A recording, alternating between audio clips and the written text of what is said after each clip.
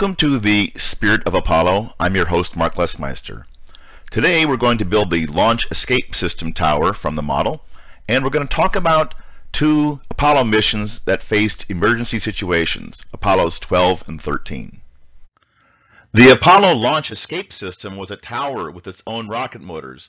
It was mounted on top of the command module. In the event of an emergency, the rocket motors could pull the command module to safety so it could splash down into the ocean.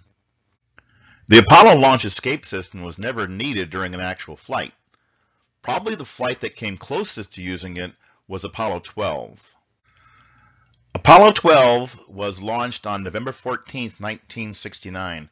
It was known as the Pinpoint mission for the precision of its landing. The success of the Apollo 12 mission was threatened by something that happened 36 seconds after launch. In order to give you an idea of how long a 36 second time interval is, I have compressed the assembly of the launch escape system to 36 seconds. And I'm going to play it for you here with the actual audio from the first 36 seconds of Apollo 12. 10, 9, 8, ignition sequence start five, four, three, two, one, zero. All engines running. Commit. Liftoff. We have liftoff. 11:22 a.m. Eastern Standard Time. Pete Conrad reports the your program is in. Power clear. I got a pitch in the roll program at the station. Go ahead. Pete Conrad reporting the roll That's program to put liftoff. Apollo Not 12 bad at on all. course. Altitude at one half mile. Roll complete. Rotate. Apollo 12 was hit by lightning 36 seconds after launch and again at 52 seconds after launch. The rocket was still flying normally, but many of the onboard systems were reporting data that made no sense whatsoever. The Electrical, Environmental, and Consumables Manager, or EECOM, on duty at the time was John Aaron. Now, part of the EECOM's responsibilities was to stare at screens like you see here and try to make sense of the data. Now, the data coming from the command module didn't make sense. They weren't the normal values that they were used to seeing, but they also weren't zero. Mr. Aaron remembered seeing a similar set of data during a training exercise about a year earlier. Now, after the training exercise, Mr. Aaron took the time to trace the faulty data back to a piece of equipment called the SCE, or Signals Conditioning Equipment. As a result, he knew what to do. He knew he needed to switch it to its auxiliary power. So, he told the flight director, Flight, EECOM, try SCE to aux. Now, judging by the flight recordings, there weren't a lot of people on duty at the time who even knew what the SCE was. Pete Conrad, the mission commander, said, What the hell is that? Fortunately, Al Bean was also on the command module and he knew exactly where that switch was. Al Bean switched SCE to the auxiliary setting and the readings started to normalize. Now, despite the lightning strikes, Apollo 12 was never really in danger of having to abort using the launch escape system. They were able to successfully complete their mission in landing on the moon. The same cannot be said for Apollo 13, which faced a far more serious problem. Apollo 13 was launched April 11, 1970, 50 years ago to the day as I record this presentation. Two days into the mission, on April 13th, NASA was confronted with one of the most significant challenges it would ever face.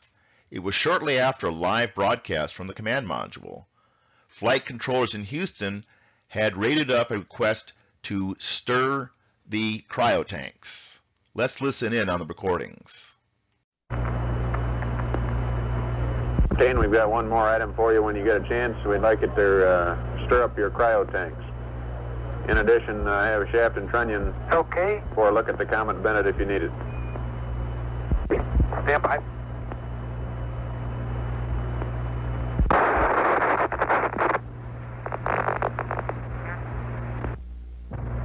Hey, Houston, uh, we've had a problem here. Can say again, please. Uh-huh. Uh, Houston, we've had a problem. Main B bus undervolt. Roger, main B undervolt. Stand by 13, we're looking at it. Although they didn't know it at the time, an explosion in one of the oxygen tanks had ripped a hole in the sides of the service module. The command module was going to be unusable because they only had battery power left. NASA was going to have to solve significant problems in order to bring the astronauts home alive. Some of the things they would do had been planned ahead of time.